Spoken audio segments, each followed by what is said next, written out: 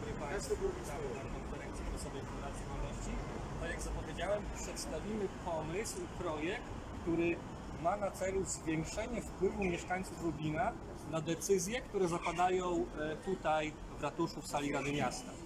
E, Od dzisiaj e, odpalamy projekt, stronę internetową pod adresem głosuje.fundacjawolności.org.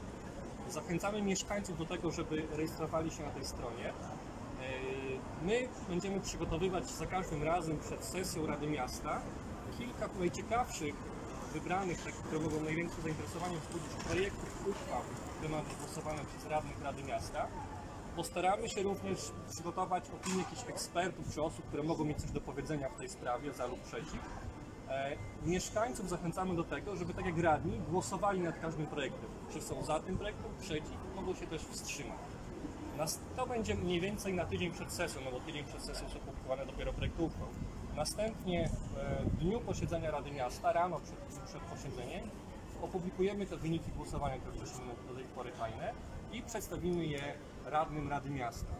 Z jednej strony będzie to wskazówka czy sugestia dla radnych, jakiego wyniku głosowania oczekiwaliby mieszkańcy. Z kolei dla mieszkańców będzie możliwość zweryfikacji, czy radni głosują tak, jakie są ich oczekiwania. Dodatkowo e, na tym, w tym serwisie każdy będzie mógł porównać wyniki swoich głosowań z ostatecznym wynikiem, jaki podjęła Rada Miasta, a nawet z wynikami poszczególnych radnych. Będziemy mogli sprawdzić, który radny głosuje zgodnie z naszym interesem. Oczywiście im więcej mieszkańców e, się zarejestruje, będzie brać udział w głosowaniu, tym ta e, wskazówka, ta sugestia mieszkańców będzie silniejsza, mocniejsza dla radnych. E, Nie chcemy tutaj wpływać, jakoś naciskać na, na decyzje radnych, natomiast mamy nadzieję, że będzie to dla nich przydatna wskazówka, która pozwoli odczytać nastroje społeczne w przypadku poszczególnych projektów. Od kiedy to robić? W jaki sposób to, czy osoba, która oddaje głos, która się do tej strony rzeczywiście E, Projekt startuje testowo już dzisiaj, gdzie już e, niestety do- dopiero przed godziną e, e, Biuro Rady Miasta publikowało projekt uchwał, więc aktualnie je wprowadzamy. Już teraz trzy projekty wybraliśmy.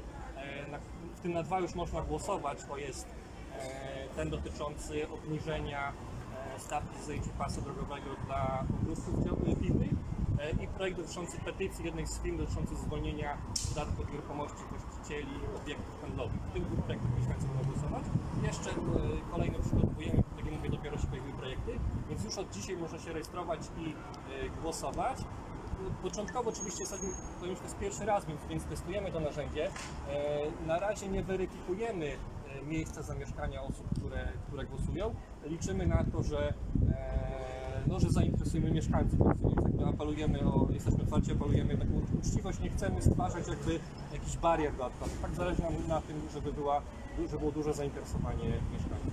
w zasadzie sądy, gdzie klika się tak nie zaprzeci, to trzeba się zarejestrować. Trzeba- się zarejestrować, stworzyć konto, ewentualnie można za pomocą e, profilu Google lub profilu z Facebooka. E, Zgodnie z regulaminem każdy mieszka, osoba może mieć tylko, tylko jedno konto. No nie da się na jeden profil, na przykład wiem, facebookowy czy mailowy założyć dwóch kont. E, Jest, tak mówię, etap testowania. Jeśli będziemy zauważyć jakieś poprawki, które trzeba wnieść, wnieść będziemy je wnosić na kol- na kolejnych sesjach. Będzie tam możliwość wypowiedzi, zadawania pytań do ekspertów. Jest możliwość e, komentowania, czyli jest dys- dyskusji nad każdym projektem, przy czym ona jest zastrzeżona tylko dla zarejestrowanych użytkowników. Czyli każdy może przeglądać, to nawet nie zarejestrowany projekty, ale żeby brać udział w dyskusji trzeba być e, zarejestrowanym. A pytania ekspertów? E, Pytania do ekspertów byłoby to trudne, ponieważ jakby jest kilka dni tylko na, na, na ten projekt, więc liczymy na to, że e, te opinie ekspertów, które tam zamieszczamy, będą asumptem do dyskusji wśród mieszkańców. Mogą być możliwości? www.głosuje.fundacja.wolności.org Bez polskich znaków, czyli losuje Fundacja Wolności. głosowanie tutaj mieszkańcy zobaczcie na ile godzin, na ile minut. Chcielibyśmy, żeby to jak najdłużej, e, czyli jeśli sesja Rady Miasta zaczyna się standardowo o godzinie 9 czwartek, to mniej więcej do godziny 7, e, 7 rano na przykład, żeby mieszkańcy jeszcze mogli głosować, tak abyśmy zdążyli jeszcze e, te wyniki e, wydrukować i przedstawić. E, E, Radni dzięki temu będą mogli poznać opinie mieszkańców e, w tych sprawach, które mogą być najbardziej, mogą najwięcej wzbudzać zainteresowanie mieszkańców. Czy może to jest wskazówka, jakie oczekiwania mają mieszkańcy Lublina w konkretnych sprawach? No wiadomo, jeśli będzie tych osób, e, nie wiem, brało udział w głosowaniu 100, no to może to nie będzie zbyt e, miarodajne, natomiast jeśli tych mieszkańców udział w głosowaniu 1000 lub więcej, to już myślę, że wynik takiego głosowania będzie miarodajny.